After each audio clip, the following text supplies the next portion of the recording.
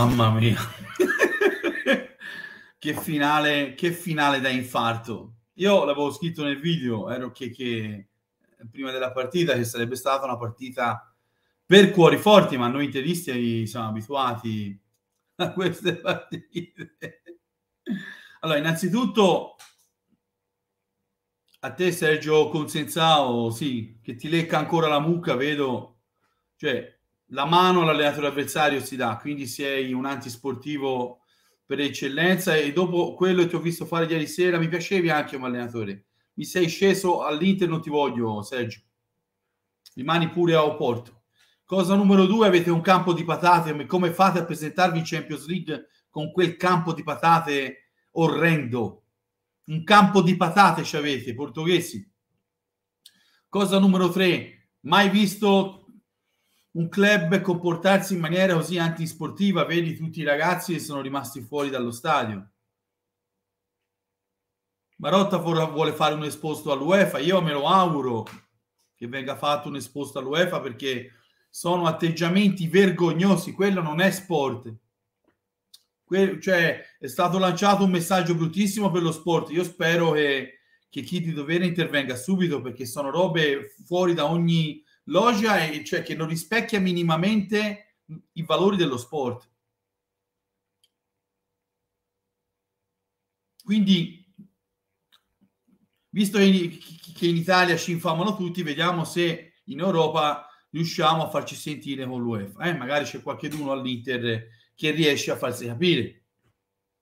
Come il presidente, il presidente intervistato il presidente dell'Inter, io non lo chiamo, non ce la può chiamarlo presidente, ragazzi, abbiate pazienza. Il cinese, il cinese ieri ha fatto la passerella, come fa sempre quando c'è da festeggiare, è stato intervistato da tutti, purtroppo è stato intervistato anche da qualcuno che ha un inglese da terza media che traduce la metà e in maniera sbagliata anche quello che dice. Comunque, a parte quello, il presidente sa che ormai la sua avventura all'Inter è finita, ma che eh, sa che deve affrontare i processi, sa che, sa che ha creato lavorare, sa che deve andare via, sa che ormai lui ha chiuso, però comunque eh, la passerella la, se la fa tutta. Tra un po' andava anche a Teleregione a farsi intervistare, eh, ma magari stamattina lo vediamo anche a Telecapri, si faceva intervistare da chiunque, anche dai Bagarino si faceva intervistare i cinesi tra un po'.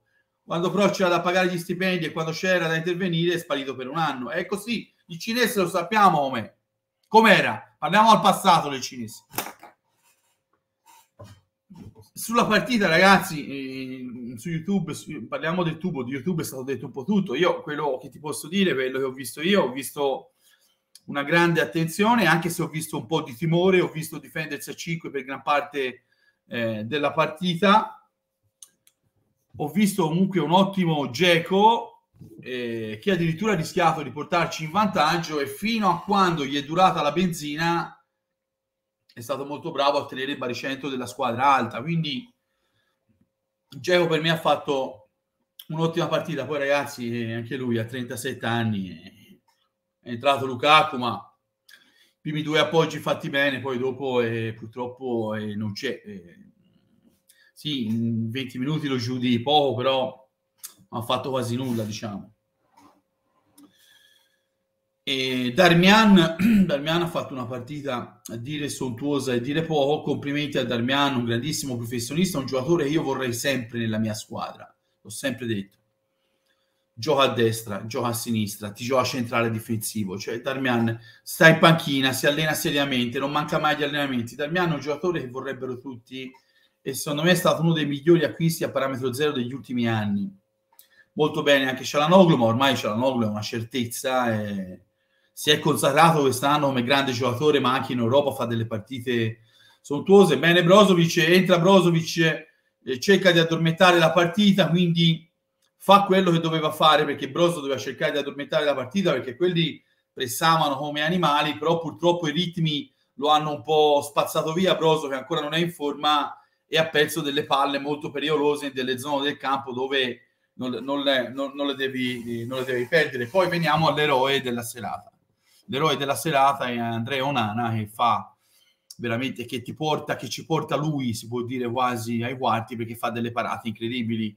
non è per dare addosso ad Andanovic, con Andanovic questa partita l'avresti presa 2-3-0 secondo me, mentre con Onana ti porti a casa la qualificazione. Per quello io ti dico, nel calcio non esistono le certezze, ma se quel testone di Inzaghi, che addirittura per la prima volta mi sei piaciuto, Inzaghi, che hai detto che il cinese non ha una lira, non ci sono quattrini, lo dovevi dire prima però, non lo dovevi dire ora, che il cinese non ha una lira. Capito?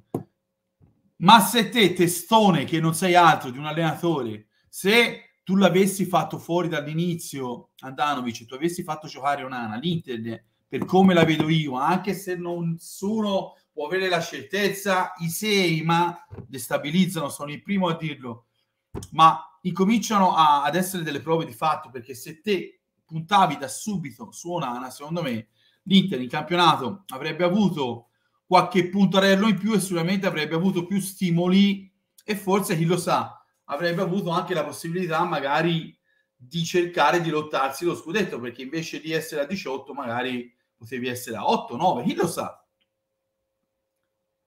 Eh, se Onana ha fatto delle parate cioè, que- tra i pali lui è una roba mostruosa l'ho sempre detto. Onana se riesce a migliorare nelle uscite diventa uno dei portieri più forti nel mondo perché ha, un, ha il lancio di 50 metri. È un portiere che riesce a vedere anche gli spazi eh. attenzione non tutti riescono a vedere gli spazi qui. Cioè, non tutti i portieri riescono a vedere gli spazi, diventa un regista aggiunto o un'ana, quindi è giovane, deve migliorare, ha la possibilità di migliorare, però ragazzi, ieri Onana è eroico, voto 9 gli hanno dato, ma io, io Onana ti do un bacio, io a te ti do voto 11, non voto 9, bravo Andrea. E Andanovic, non rompere i coglioni, stai a sedere ormai il tuo l'hai fatto, sei stato pagato, c'hai i premi per raggiungimento dei delle presenze, ti, ti, faranno raggiungere i premi, ma deve giocare Onana, Andanovic. Anche, anche questo alternare il portiere in campionato, non, dategli gli stessi premi, tanto un miliardo e mezzo di debito, un miliardo e seicento, cosa cambia? Dategli i premi lo stesso a Andanovic senza farlo giocare. Ciao Inter. Dai, dai, dai.